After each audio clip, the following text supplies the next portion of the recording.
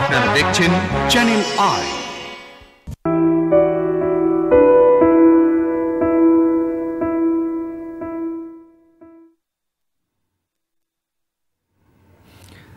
Greenview clinic teleprescription অনুষ্ঠানে আপনাদের সবাইকে স্বাগত জানাচ্ছি।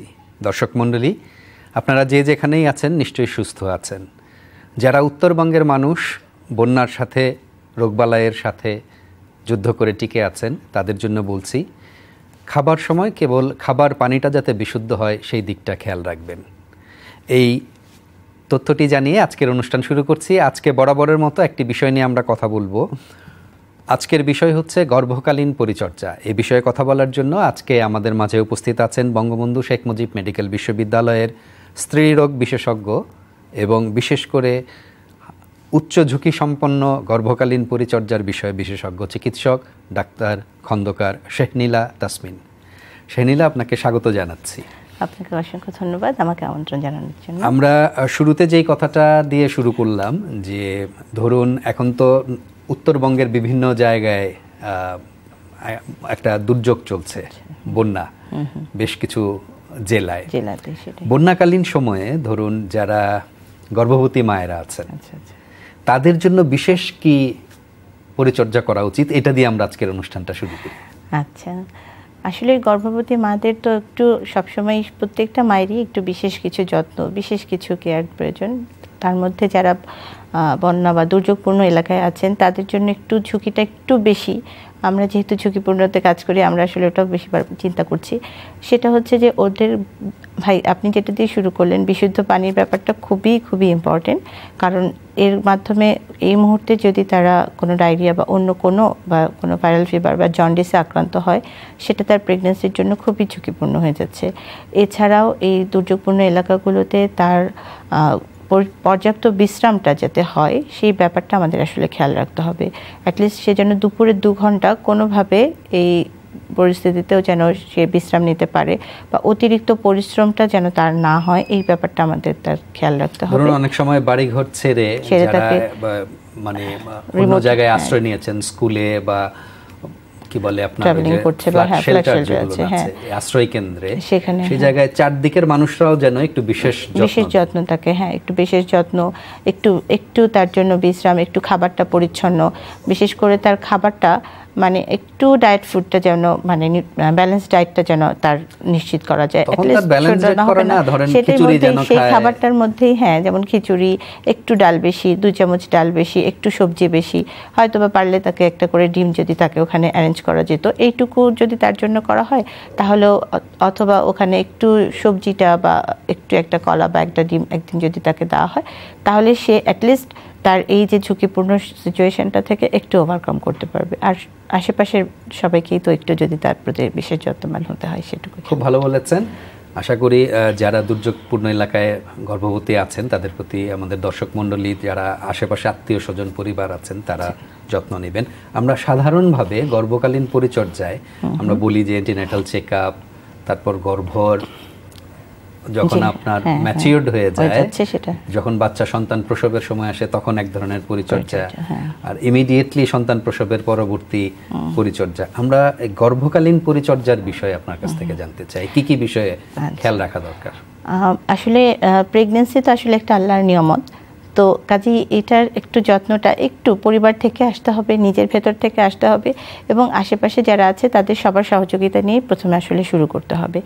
আর গর্ভকালীন যত্নতে তাকে খেয়াল করতে হবে যে এখানে আমি একা না, আমার অনাগত সন্তানের ভবিষ্যৎটা, তার সুস্থতাটাও ডিপেন্ড করছে।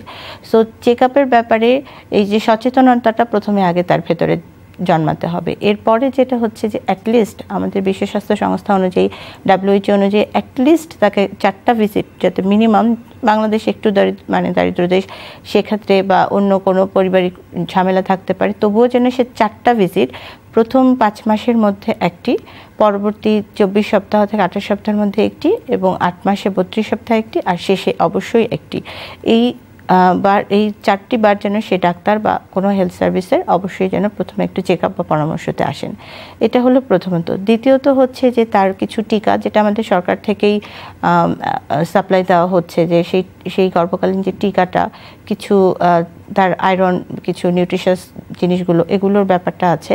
তারপরে হচ্ছে যে গর্ভস্থ বাচ্চাটা ঠিকমতো বেড়ে উঠছে কি না সেটার জন্য যে তার বা গর্ভস্থ বাচ্চাটা ঠিক আছে কি না আঠারো থেকে বাইশ সপ্তাহে প্রত্যেকটা মেয়েরই উচিত যে একটা অবশ্যই অ্যানোমালি স্ক্যান করে নেওয়া। কারণ আমরা এখন যেই ঝুঁকিতে আছি পরিবেশগত এবং বিভিন্ন খাবারের বিভিন্ন ধরনের সমস্যার জনিত কারণে তো দেখা যাচ্ছে যে ত্রুটিপূর্ণ এবং ঝুঁকিপূর্ণ প্রেগনেন্সি অনেক বেড়ে যাচ্ছে। তো মাঝামাঝি সময়ের দিকে একটা সুস্থ বেবি আসছে কিনা এটা যেন আমরা অবশ্যই খেয়াল চেক আপ করি চেক আপ একটা টেলিফোন আসছে হ্যালো আসসালামু আলাইকুম। হ্যালো হ্যালো আসসালামু আলাইকুম। ফোনটা কেটে গেছে আপনি চেষ্টা করুন টেলিভিশনের ভলিউম নিয়ে টেলিফোন করতে। আমরা গর্ভকালীন পরিচর্যায় আপনি যেটা বলছিলেন যে ঝুঁকিপূর্ণ অবস্থা এবং কমপক্ষে চারবার চেক আপ করাটা। এই চেক আপের ক্ষেত্রে ধরুন চারবার আসলো না একবার বা দুইবার আসলো এবং আপনি যে টিকার কথা বললেন এই এই এই সবগুলো মিলিয়ে আমরা যদি বলি যে প্রাথমিকভাবে তিনটি খুবই গুরুত্বপূর্ণ বিষয় আছে। আচ্ছা। সেই তিনটি বিষয় কি? প্রাথমিকভাবে যে তিনটি গুরুত্বপূর্ণ বিষয় আছে সেটার মধ্যে একটি হচ্ছে যে আমার ফুল চেক আপের মাধ্যমে আমি পরিপূর্ণভাবে ফিট কিনা বেবিটাকে নেওয়ার জন্য। সেটা ক্লিনিক্যালি এবং কিছু বেসিক ইনভেস্টিগেশন যেটা জাস্ট পাঁচটা বেসিক ইনভেস্টিগেশন যে আমার রক্তের পরিমাপটা হিমোগ্লোবিনের মাত্রাটা, তারপরে হচ্ছে হেপাটাইটিস বি এর দ্বারা আমি আক্রান্ত কিনা, তারপরে হচ্ছে ইউরিনে আমি ইউরিন ইনফেকশনের ক্যারিয়ার কিনা, এরকম পাত এবং আলট্রাসোনোগ্রাফি আর ডায়াবেটিসের জন্য একটু স্ক্রিনিং এটা আমাদের বেসিক একটা ইনভেস্টিগেশন এটা হচ্ছে প্রথম এবং পূর্বশর্ত এবং ক্লিনিক্যালি আমি ফিট কিনা বডি নিউট্রিশাস নাম্বার টু হচ্ছে যে আমি পর্যাপ্ত পরিমাণে ডায়েট নিউট্রিশন এনশিওর করতে পারছি কিনা। যে গর্ভবতী প্রসূতি মাদের যেহেতু তার ডেলিভারি এবং পরবর্তী প্রসব পরবর্তী সময়ের বাচ্চার কেয়ারের জন্য এক্সট্রা নিউট্রিশন সাপ্লিমেন্ট অবশ্যই দরকার। সেই জন্য পরিবার থেকে এবং নিজেকেও একটু বারে বারে অ্যাটলিস্ট ছয়টা মিল আমি বলব যে তিনটা মেজর মিল খাবে এবং তার সাথে তিনটা স্ন্যাক্স নাস্তা খাবে। দু ঘণ্টা, এক ঘণ্টা পরপরই সে অল্প অল্প করে কিছু খাবে, যার জন্য তার বডিতে ব্যালেন্স একটা নিউট্রিশনস হবে। এটা এবং এবং পর্যাপ্ত পরিমাণ একটা ঘুম লাগবে যেটা দুপুরে দু ঘণ্টা বিশ্রাম ঘুমক এবং কর্মজীবী মেয়েদের জন্য যারা এখানে লাইভ শো দেখছেন তাদের জন্য বলছি যে যখন লং স্ট্যান্ডিং কখনোই ছয় ঘণ্টা একটানা জব করবেন না। এর মাঝে অবশ্যই হাফ অ্যান আওয়ার করে রিল্যাক্সেশন পিরিয়ডটা নেবেন। আর তারপরে হচ্ছে এবং এই তিনটা হচ্ছে বেসিক আচ্ছা আমরা বেসিকটা শুনলাম আবার আসছি আপনার কাছে একটা টেলিফোন নিয়ে। হ্যালো আসসালামু আলাইকুম। হ্যালো আদাব। জি। ভাইয়া ভালো আছেন? জি। আমি একটু ম্যাডামের সঙ্গে কথা বলতে চাই। জি প্লিজ বলুন। আচ্ছা শুনতে পাচ্ছি। জি বলুন। ম্যাডাম আসসালামু আলাইকুম আমি রত্না। ওয়ালাইকুম আসসালাম। হ্যাঁ বুঝতে পারছি। ম্যাডাম ভালো আছেন? হ্যাঁ হ্যাঁ ভালো আছি। ও লাইন। লাইনটা কেটে গেল প্রশ্নটা করার আগেই আচ্ছা। আচ্ছা আচ্ছা। যাই হোক মনে হচ্ছে আপনার রোগী বা পূর্ব পরিচিত হবে। আচ্ছা। আপনি দেখতে থাকুন এবং যদি লাইন পান তারপর আবার কথা হবে। জি আমরা বেসিক তিনটার কথা করার কথা বললাম এটা চমৎকারভাবেই আপনি বলেছেন। এরপরের যে যত্নগুলো এবার আমরা এর পরপরই যে যত্নটা সেটা হচ্ছে যে এই প্রেগনেন্সিটা তার জন্য আসলে সে প্রত্যেকটা প্রেগনেন্সি ঝুঁকিপূর্ণ, তবে এই প্রেগনেন্সিটা তার জন্য কতটা তার ঝুঁকি আছে কিনা এটা সবার আগে স্ক্রুটিনি করে নিতে হবে। তা আমাদেরকে যে একটা নর্মাল প্রেগনেন্সিতে তো আমি, আমাদের যেহেতু অনেক একটু দেশটা একটু রুরাল কান্ট্রি এখানে আমরা অত সার্ভিস পাচ্ছি না। সেজন্য বেসিক যখন শুরুতেই একটা পেশেন্ট একবারের জন্য চেক আপে আসবে, ধরে নিতে হবে যে এর আসলে হাই রিস্ক কোনো ফ্যাক্টর আছে কিনা হার্ট ডিজিজ আছে কিনা বা থাইরয়েড কোনো এন্ডোক্রাইন সমস্যা আছে কিনা, সে টিবিতে ছিল কিনা, বা তার বারবার প্রেগনেন্সি লসের হিস্ট্রি আছে কিনা, বা এরকম কোনো ধরনের আছে কিনা, এরকমভাবে আমরা তাকে স্ক্রুটিনি করে নিলাম। এন দেন আমরা হচ্ছে হাই রিস্ক ক্যাটাগরিকে আমরা একটাভাবে আলাদা করে ফেললাম, আর যারা নর্মাল আছে তাদেরকে একটাভাবে ক্যাটাগরাইজ করে ফেললাম। এরপরে যেটা হচ্ছে যে ওদেরকে আমাদের একটা বার্থ প্ল্যানিংয়ের কথা বলে দিতে হবে, যে আপনি কোথায় ডেলিভারি করাবেন কিছু প্রস্তুতির কথা বলে দিতে হবে যে অবশ্যই যেন শেষ মুহূর্তে কোনো তাড়াহুড়া না এসে যায় বা যে কোনো বিপদ হলে যেন আপনি এই থেকে এখানে রেফার করতে পারেন আপনার। এবং অবশ্যই একজন রক্তদাতা মানে তার সাথে ম্যাচিং করে রাখতে হবে যাতে যেটা সেটা নর্মাল হোক বা সিজার হোক বা এই ধরনের সময়ে যেন তাকে একটা যে কোনো সময় এখনও তো মাতৃমৃত্যুর প্রথম এবং প্রধান কারণ হচ্ছে অতিরিক্ত রক্তস্রাব। তো এই যে হেমোরেজ বা রক্তস্রাবজনিত কারণে যে মাতৃমৃত্যু এটা আমরা কিন্তু ব্লাড গ্রুপ একটা ম্যাচিং না থাকার জন্য ব্লাড না দেওয়ার জন্য পারি। সেটা কোন সেন্টারে তার করবে, সেটার জন্য আগের থেকে প্রস্তুতি, কিছুটা তার অর্থ ফাইন্যান্সিয়াল যে ব্যাপারটা, সেটা গুছিয়ে রাখা। কাকে দিয়ে করাবেন তার যদি ইনকেস ধরেন বাড়ির যে কোনো অ্যাটেন্ডেন্সকে করাচ্ছেন বা সিস্টারকে দিয়ে করাচ্ছেন বা ডক্টরকে দিয়ে করাচ্ছেন, আমি বলব যে সবার উচিত যে হসপিটালে আমাদের এখন হসপিটাল সার্ভিস খুবই ভালো। সব উপজেলা হেলথ কমপ্লেক্স লেভেল থেকে শুরু করে সব জায়গাতেই কনসালটেন্ট লেভেলের ডক্টররা সেবা দিচ্ছেন। তো অবশ্যই হসপিটালে অ্যাটেন্ড করবেন ডেলিভারির জন্য। সেটা একটা প্ল্যানিং করে রাখা। এবং সর্বোপরি হচ্ছে যে এর পরে যে যদি অন্য কোনো ঝুঁকি দেখা দেয়, এই ঝুঁকিগুলো সম্বন্ধে অ্যালার্ট করা। যেমন খিঁচুনি হলো কিনা হঠাৎ করে শরীরে পানি চলে আসলো কিনা হাত পা অনেক ফুলে গেল কিনা তারপরে হচ্ছে জ্বর অতিরিক্ত জ্বর হচ্ছে কিনা। এটা সাধারণত কোন সময়ে এটা ইউজুয়ালি পাঁচ মাসের পরে মানে মাঝামাঝি প্রেগনেন্সির মাঝামাঝি সময় থেকে শেষের দিকের দিকে হঠাৎ করে দেখা গেল যে পেশেন্টের খিচুনি হচ্ছে বা তীব্র মাথা ব্যথা হচ্ছে চোখে ঝাপসা দেখছে। এগুলো যে অত্যন্ত ঝুঁকিপূর্ণ এই ব্যাপারগুলো আগে থেকে তাকে অ্যালার্ট করে রাখা এবং এগুলো হলে সাথে সাথে সে ডাক্তারের সাথে যেন পরামর্শ নেয়।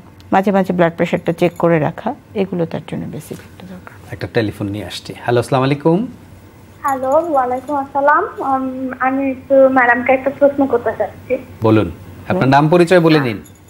আমার নাম রোকসানা ম্যাডাম আসসালামু আলাইকুম ম্যাডাম মনে আছে আমার কথা হ্যাঁ হ্যাঁ মনে আছে। ভালো আছেন? হ্যাঁ ভালো আছেন? আহ, ভালো আছেন? হ্যালো হ্যাঁ আপনার হ্যাঁ। প্রশ্নটা আপনার প্রশ্নটা করুন। হ্যাঁ। আমার প্রশ্নটা হচ্ছে ম্যাডাম আমার তো টু আড়াই মাসের মতো প্রেগনেন্সি হচ্ছে হয়েছে তো আমার দেখা যায় কি দুদিন পর পরই আহ, পেটে সমস্যা হয় ডিহাইড্রেশন হয়ে যায় ডিসেন্ট্রির মতো হয়ে যায় এখন এই ধরনের কি আমি কোনো মেডিকেশন দেবো কি বা এটাতে সেভাবে কোনো ট্রাবল হবে কিনা আমার খাওয়া দাওয়া যে কিসে প্রবলেম হচ্ছে আমি কোনো বাইরের কোনো খাবার খাওয়া তো হচ্ছে না বাসার খাবারই খাওয়া হচ্ছে। তো আচ্ছা এরকম খুব আচ্ছা। আপনার সমস্যাটা কি এই প্রেগনেন্সি হবার পর থেকে না তার আগে থেকেই ছিল? না আগে থেকে না পর থেকে। প্রেগনেন্সি হওয়ার পর থেকে। কিছুদিন যাবত এটা হচ্ছে। কিছুদিন যাবত থেকে। এর সাথে কি আপনার কোনো অন্য কোনো সমস্যা আছে? জ্বর বা ওজন কমে যাওয়া এই ধরনের কোনো সমস্যা? আমার ওজন অনেক কম। আচ্ছা আর হচ্ছে কি যে জ্বর আমার হয় জ্বর মানে ঠিক হয় না আমার ভোরের দিকে খুব শীত করে এরকম আচ্ছা। হয়। আচ্ছা বুঝতে পেরেছি। আচ্ছা আপনার যেহেতু এখন আড়াই মাসের মতো প্রেগনেন্সি চলছে তো আসলে এটা অনেক সময় হয় যেটা যে প্রেগনেন্সিতে শরীরে কিছু হরমোনজনিত পরিবর্তন আসে তো সেই জন্য প্রথম আর্লি তিন মাস পর্যন্ত বডিতে একটু বমি বমি ভাব বা খাবার বিভিন্ন ম্যাক্সিমাম অনেক খাবারে খারাপ লাগা, গন্ধ লাগা বা ওটা হজম না হওয়ার মতো একটা প্রবণতা তৈরি হয়। তো এক্ষেত্রে শুরুতেই কোনো মেডিসিনে যাওয়াটা আসলে খুব বেশি ঠিক হবে না। কিন্তু যদি খুব বেশি বমি হয়, আপনি ওরসালাইন বা এ ধরনের কিছু নিয়ে ডিহাইড্রেশনটা কারেকশন করে রাখতে পারেন। আর যেই খাবারগুলো আসলে আপনার জন্য খেলে দেখা যাচ্ছে যে আপনার হজমে প্রবলেম হচ্ছে বা ভমিটিং টেন্ডেন্সি আনছে বা আপনি স্যুট করছে না, ওগুলোকে অ্যাভয়েড করে অন্য খাবারগুলোকে এবং ডিফারেন্ট মেনুতে মানে সকালে যেটা খাচ্ছেন দুপুরে অন্যটা বিকেলে অন্যটা এভাবে একটু চেঞ্জ করে করে যদি খান আমার মনে হয় আপনি অনেক বেটার ফিল করবেন। আর তারপরেও যদি ভালো না হয় সেক্ষেত্রে আপনি একটু ডক্টরের সাথে দেখা করে স্টুলটা একটু পরীক্ষা করে দেখতে পারেন সেক্ষেত্রে। প্রথম তিন মাসে তো এটা খুবই একটা স্বাভাবিক স্বাভাবিক ঘটনা। আমরা ওই ঝুঁকিপূর্ণ আবার টেলিফোন এসেছে একটা টেলিফোনটা নিয়ে আসছি। হ্যালো হ্যালো জি সালাম আলাইকুম। হ্যালো বলে আসসালামু আলাইকুম। আমি প্রবাস থেকে বলতেছি দুবাই থেকে আর কি। জি বলুন। জি বলুন। আমি ম্যাডামের সাথে একটা প্রশ্ন করতে চাই। আমার ওয়াইফ আজকে দুই মাস ধরে প্রেগনেন্ট হয়েছে দুই মাস? ওর একটু বমির ভাবটা বেশি আর শরীরটা খুবই দুর্বল। আচ্ছা উনি কি দেশে না উনিও দুবাইয়ে? না উনি উনি বাংলাদেশে। উনি বাংলাদেশে আছেন। উনি নিশ্চয়ই এই- এই অনুষ্ঠান দেখছেন। তো ওনার উদ্দেশ্য আর আপনার উদ্দেশ্য আপনার প্রশ্নের জবাব। আসলে প্রশ্নের জবাবটা আমি একটু আগেই দিয়ে দিয়েছি। প্রথম তিন মাসে এটাই স্বাভাবিক যে একটু শরীরে হঠাৎ করে নতুন একটা কিছুর আগমন, সেটা শরীর মানিয়ে নেওয়ার জন্য, পরিবর্তনগুলোর জন্য এই বমি বমি গা গোলানো ভাবটা কারও একটু বেশি থাকবে, কারও একটু কম থাকবে, কিন্তু এটা থাকবে। এটা সময়ের সাথে সাথে তিন মাস থেকে চার মাসের পরেই ইনশাল্লাহ উনি ওনার ব্যাপারটা অনেকটাই ইমপ্রুভ হয়ে যাবেন। এটার জন্য খুব বেশি দুশ্চিন্তা করার কিছু নেই। আপনি একটু নিউট্রিশনাল সাপোর্ট পর্যাপ্ত বিশ্রাম, আর হচ্ছে তাকে মেন্টাল সাপোর্ট যদি দেওয়া দেওয়া হয়। সময়টা আসলে খুব জরুরি। এই সময় সময়টা যদি একটু ব্যস্ততার মধ্যে কাটে সেক্ষেত্রেও কিন্তু অনেকটা এই ধরনের থেকে ইমপ্রুভমেন্ট পাবেন আপনারা। আপনি দুবাই থেকে মাঝে মাঝে আপনার স্ত্রীর সংবাদ নেবেন এবং স্ত্রীর জন্য একজন ডাক্তার ঠিক করে রাখবেন। এটা তার জন্য একটা বড় মানসিক সাপোর্ট হবে। এবং আপনাকে অনেক ধন্যবাদ যে আপনার নিজের স্ত্রীর গর্ভকালীন বিষয় নিয়ে আপনি দুবাই থেকে আমাদের অনুষ্ঠানে প্রশ্ন করেছেন। করেছেন। তো কথা আমরা আবার আচ্ছা, আলোচনায় আসি যে ওই যে ঝুঁকিপূর্ণ গর্ভকালীন যে অবস্থাটা ধরা যাক যে গর্ভকালীন সময়ে হঠাৎ কোনো একটা আচ্ছা আচ্ছা। ঝুঁকি তার দেখা গেল খিচুনি কিংবা উচ্চ রক্তচাপ। আচ্ছা। তখন প্রাথমিকভাবে করণীয় কি? আচ্ছা যদি এরকম আচ্ছা আমরা এই আলোচনাটা যাওয়ার আগে আরেকটা টেলিফোন আছে নিয়ে নিচ্ছি। হ্যালো হ্যাঁ। হ্যালো আসসালামু আলাইকুম। ওয়ালাইকুম আসসালাম। জি বলুন আপনার নাম পরিচয় বলে প্রশ্নটা করুন সরাসরি। আমাদের সময় কম। জি আমার নাম তানিয়া আমি উত্তরা থেকে বলছি। জি। জি বলুন।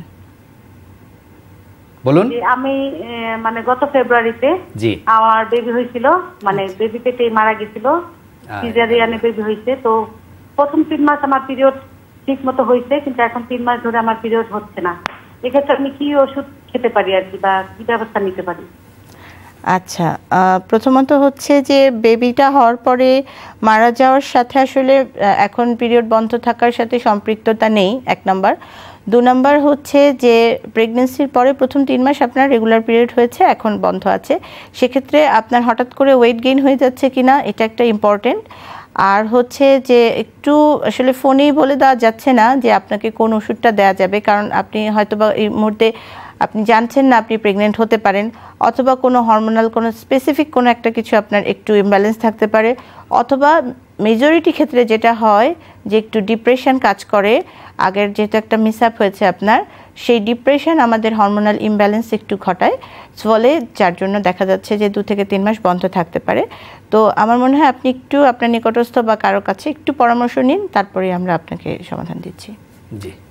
আরেকটা টেলিফোন আছে একবারে টেলিফোনটা সেরে নিই। হ্যালো হ্যালো আসসালামু আলাইকুম। ওয়ালাইকুম আসসালাম। আমি টুম্পা বলছি চিটং থেকে। জি বলুন। আমার সমস্যা হচ্ছে আমি এখন চার মাস দশ দিন প্রায় প্রেগনেন্ট না সরি পাঁচ মাস।